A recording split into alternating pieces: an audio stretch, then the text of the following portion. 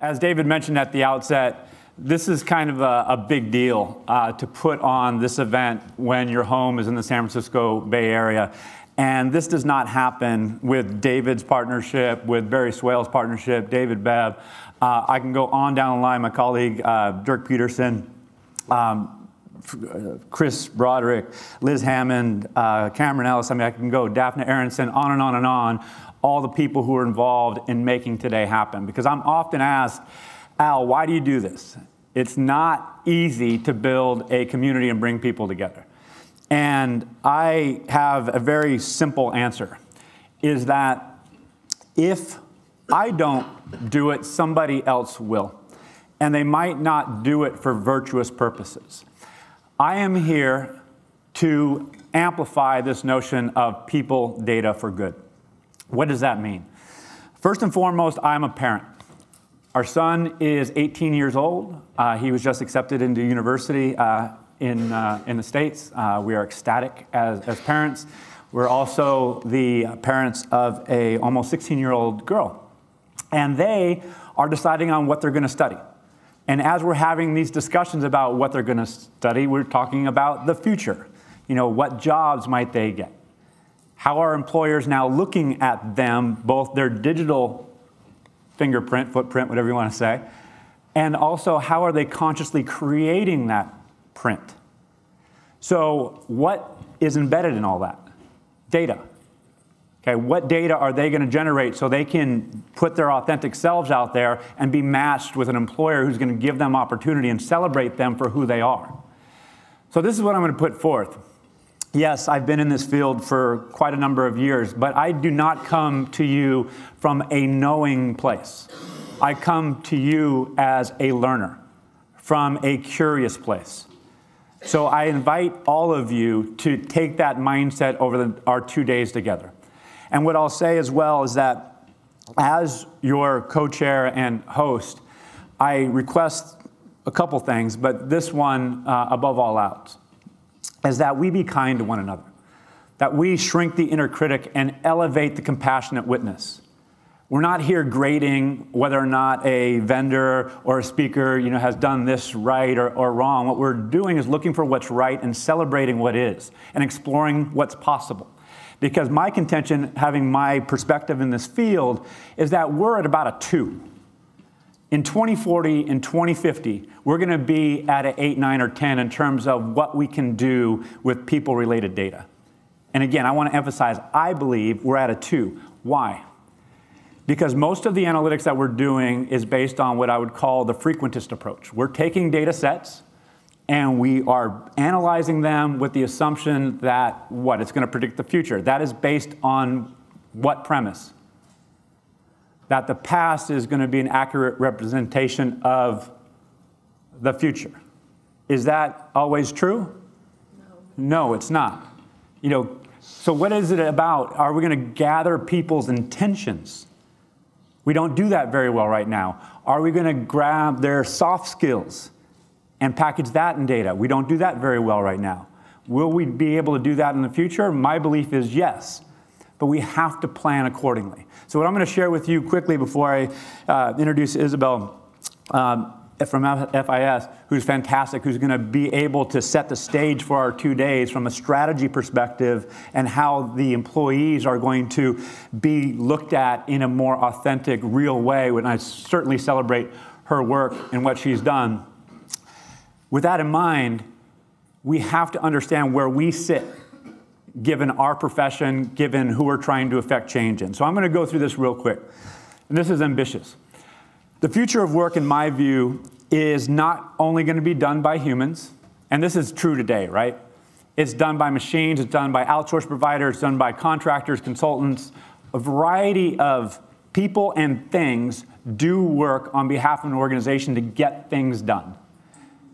In people analytics or workforce analytics, what are we focused on primarily? The upper right here, where we have a high competitive advantage, long-term time horizon, long-term cost. But what happened in 2008, 2009, particularly in North America, a lot of the organizations shrank. Yet the work did not diminish. In fact, the economy turned around and organizations started to grow financially.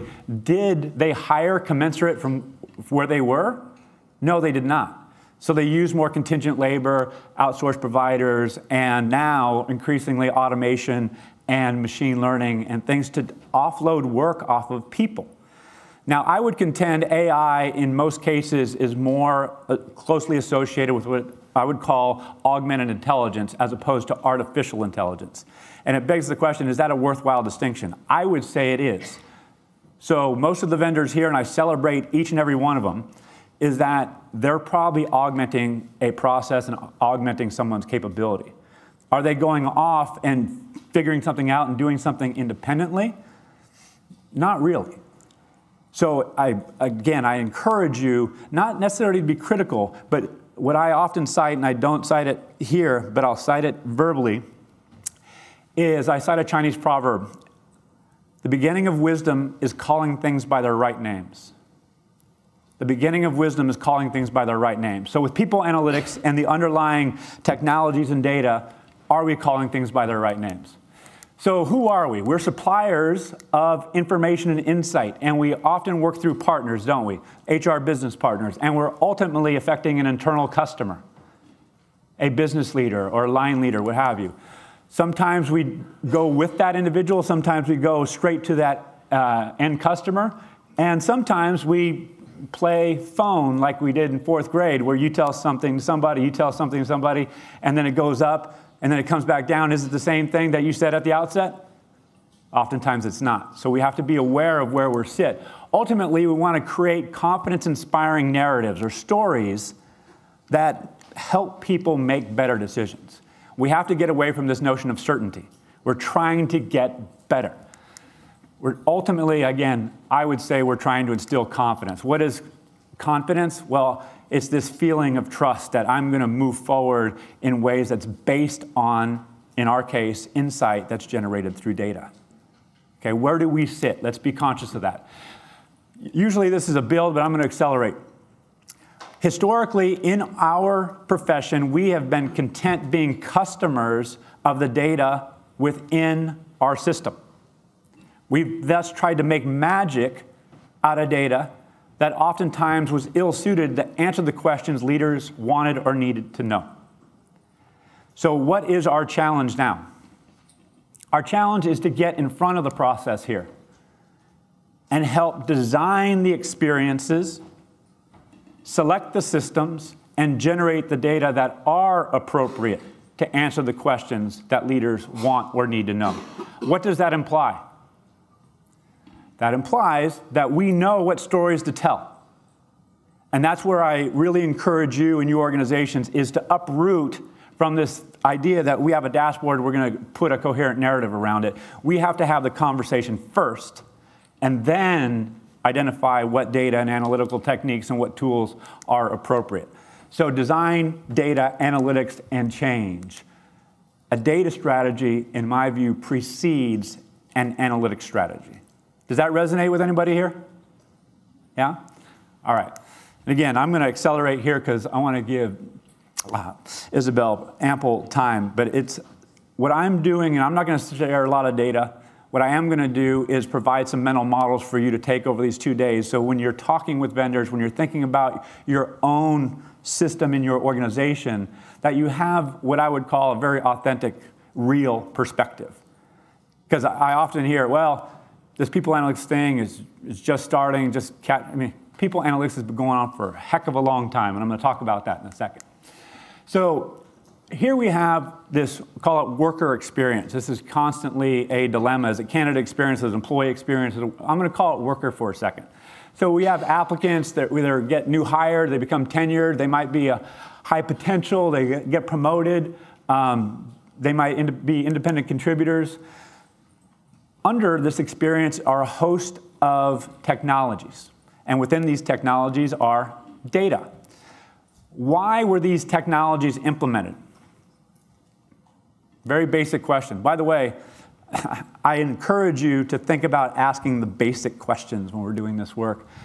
Try people, oh, I got to ask a smart question, you'll be the insightful person. I mean, ask the basic questions. Why were these systems implemented in the first place? I'll give you the answer. To either create or improve a process, a performance management process, a recruiting process, a learning process. It was done for, was it, was the intention to generate insight into people's behavior and in turn take action? Oftentimes, no. Most of the time, no. So we're taking data out of these processes and trying to apply them to questions that they may or may not be suited to answer. This is not a criticism, it's just being very aware of what we're dealing with. Okay? So this, these are HR technologies that are inside our organization. Increasingly now, what do we have? We have collaboration tools, emails, calendaring, you know, ONA, um, My Analytics from Microsoft. Um, we have LinkedIn, Glassdoor, educational data. Um, in the US, we have data from the Bureau of Labor Statistics. All of this is people data.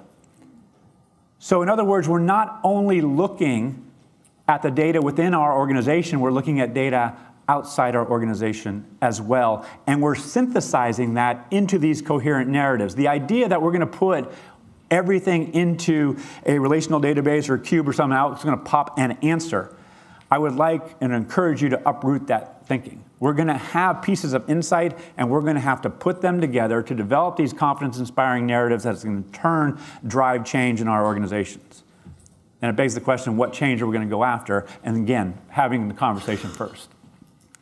So, employee experience, human centered design, uh, that track is going to be a key theme. If we have a human centered design, we're going to have talent processes that are going to support that design, that experience.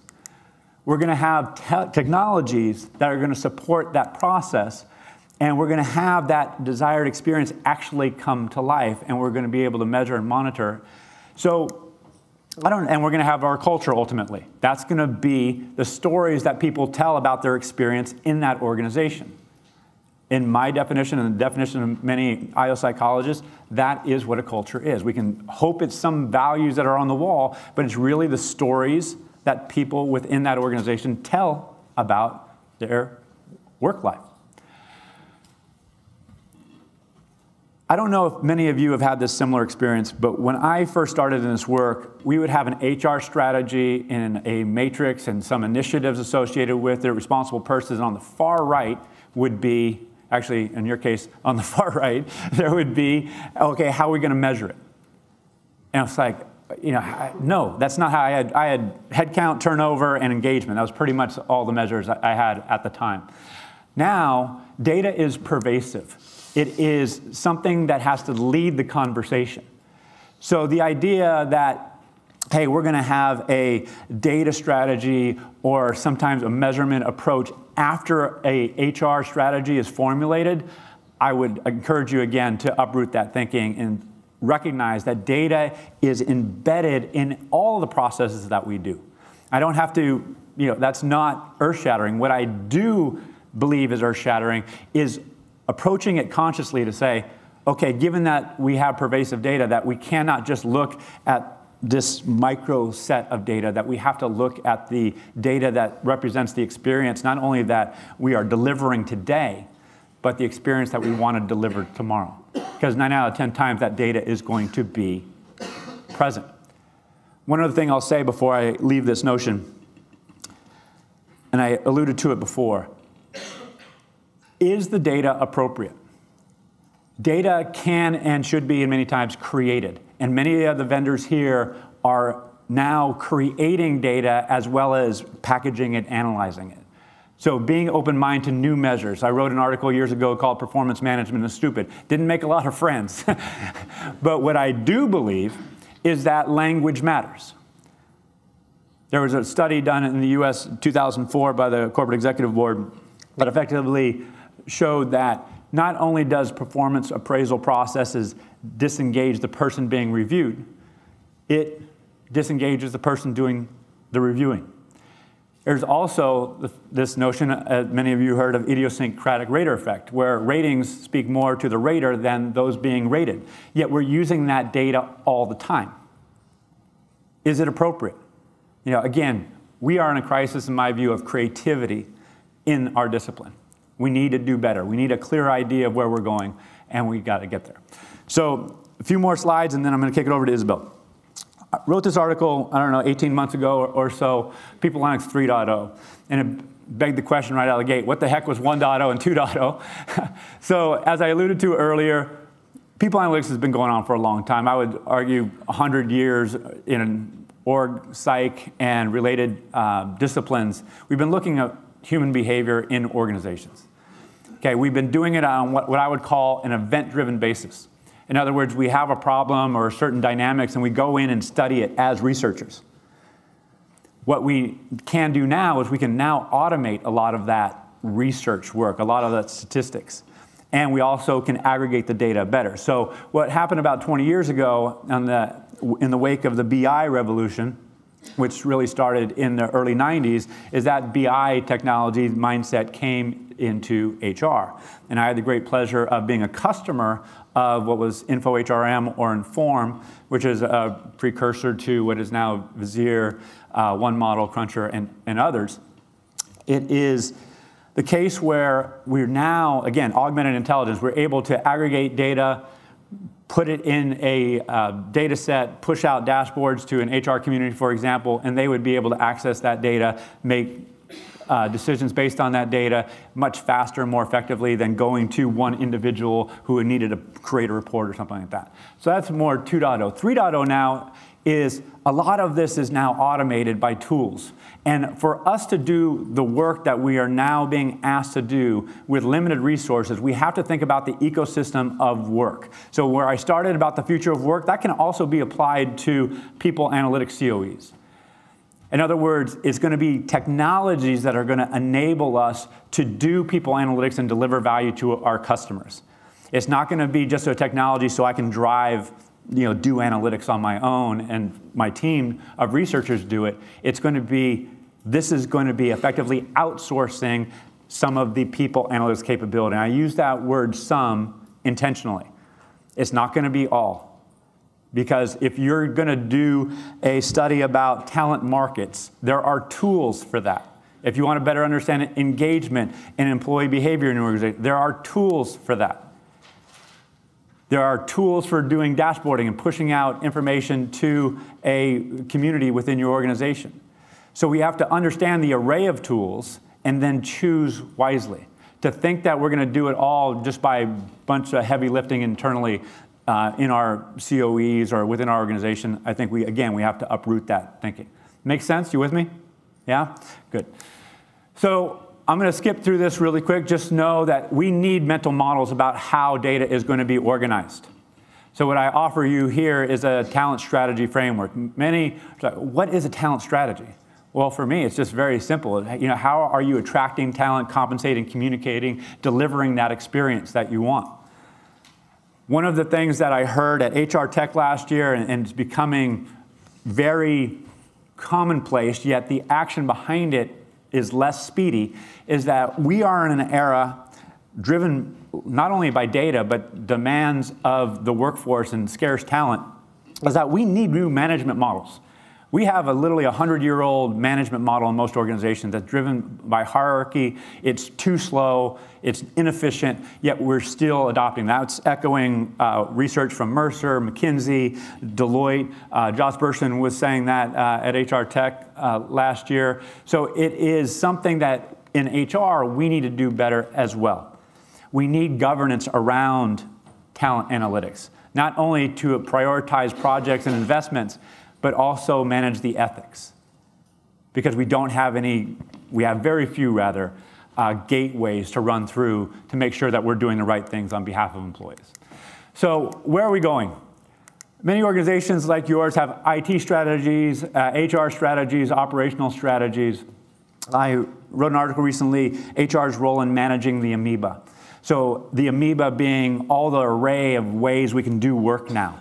And we have this critical unique position to add value in helping organizations form what I would call a work strategy. How is work going to get done?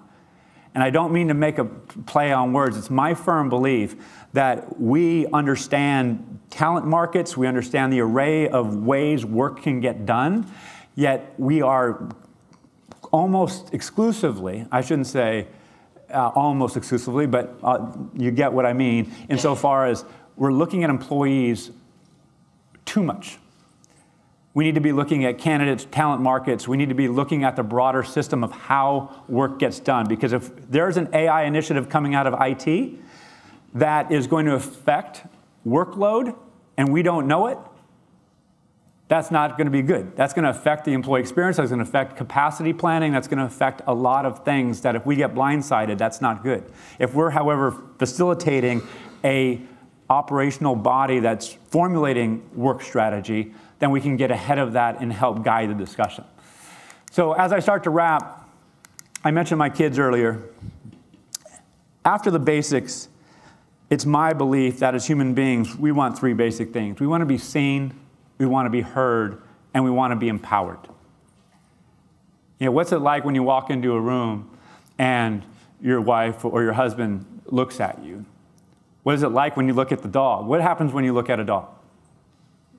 Usually starts wagging its tail, doesn't it? Why is that? Because it's seen. Okay, what's it like to have somebody in front of you who's truly there for you, listening attentively with curiosity and compassion? You know, what's it like to be empowered as opposed to told what to do? So it's something, I, you know, there's going to be a lot of talk around feedback over the next couple days, and I celebrate it. And it's not about not doing feedback. It's about defining what feedback is, in my view, more appropriately. Because we, particularly as knowledge workers, don't necessarily want to be told what to do. In matters of safety or you know, certain instances, possibly. But by and large, we want to be empowered. We want to be seen, heard, and offered ideas so we can choose what's most appropriate for us. Because if I'm a manager, I'm coming telling you what to do, what does that presume?